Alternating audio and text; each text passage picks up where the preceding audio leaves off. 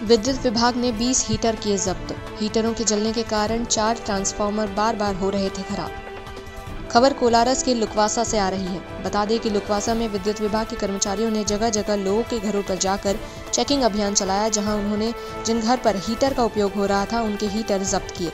साथ ही उनको चेतावनी देकर छोड़ दिया और समझाइश दी कि अगली बार अगर हीटर का उपयोग किया तो उनके विरुद्ध विद्युत अधिनियम 135 के तहत कार्यवाही की जाएगी।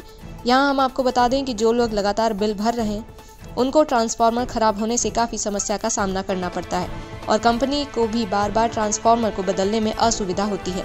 साथ ही एक अन्य मामला भी सामने आया, जिसमें एक टॉवर को नष्ट कर दिया गया, जिसका बकाया बिल ओवर ड्यू करके मालिक ने उसे छोड़ दिया था। कई बार उसकी जानकारी एकत्रित कर उसे आगाह किया गया, लेकिन अभी तक उसका बिल जमा नहीं किया गया है, जिसके चलते आज फिर से केबल काट कर ले गए। लुकवासी में क्या है कि हीटरों का लोड बहुत ज़्यादा बढ़ रहा था। चार से पाँच ट्रांसफार्मर फेल हो गए। जैसे ट्रांसफार्मर रखते, तुरंत फेल हो रहा है। लगातार फेल हो रहा है। तो इस चक्कर में हीटर की चेकिंग का ये प्रोग्राम रखा गया।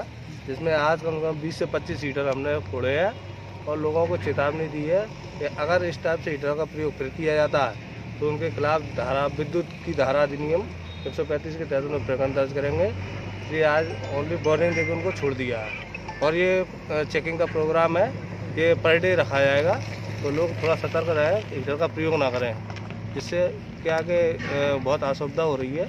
और हमारे ट्रांसफॉर्म बार बार फेल होने से जो आमजन जो रेगुलर विद्युत का बिल पे कर रहे हैं, उनको काफ़ी समस्या का सामना करना पड़ रहा है। एक कोलरस में सीसई के पास में इनका चार लाख का बिल बकाया है। वहाँ इनने टावर डिसमेंटल कर लिया है, बिल ओवर ड्यू करके छोड़ के भाग गए ये लोग।